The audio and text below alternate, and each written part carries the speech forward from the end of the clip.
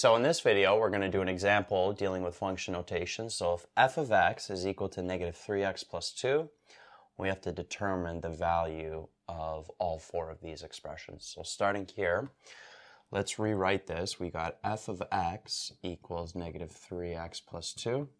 Well, f of negative 2, all we're doing is we're plugging in negative 2 for x. So negative 3 times negative 2 is 6, plus 2 gives us 8. So f of negative 2 is equal to 8, which means negative 2 and 8 is a point on this function. This function here is a line. Notice how it's y equals mx plus b form. But this could be anything. It could be a quadratic, it could be an exponential. Basically, you're just plugging in these values for whatever the function is, for x in the function. Same thing here, so f of 2 would be negative 3 times 2 plus 2, which would be negative 6 plus 2, which is negative 4. So that is the answer. So the coordinate is uh, 2 and negative 4.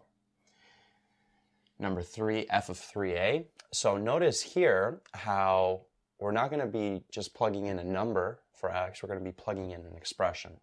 So you can have stuff like this come up as well. So f of x is negative 3x plus 2.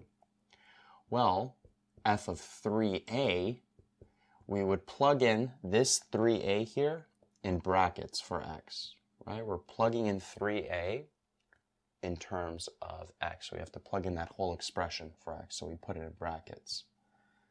Then negative 3 times 3a gives us negative 9a, and then this is plus 2. And this does not simplify any further, so that there is your final answer. And if you wanted to show this in coordinate form, basically 3a would be the value of the independent variable, negative 9a plus 2 would be the value of the dependent variable for this function here. Right? So sometimes your answers will be expressions if what you're plugging in for x is an expression. And same thing for number 4, so f of x equals negative 3x plus 2.